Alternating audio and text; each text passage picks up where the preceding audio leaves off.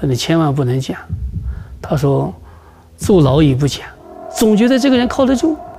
没想到，呃，真正到最后出卖我的还是他。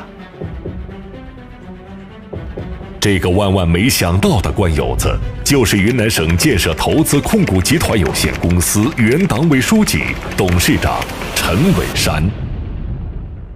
毕业工作几年后的陈文山，曾有过一段停薪留职外出承包工程的经历，成为当时小有名气的小老板。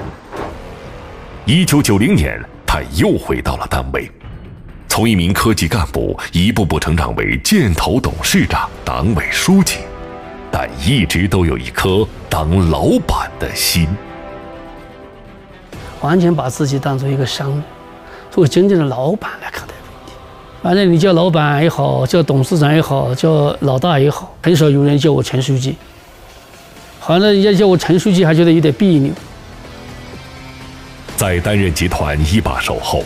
面对集团蒸蒸日上的发展势头，在身边人的吹捧抹油中，陈文山开始飘了。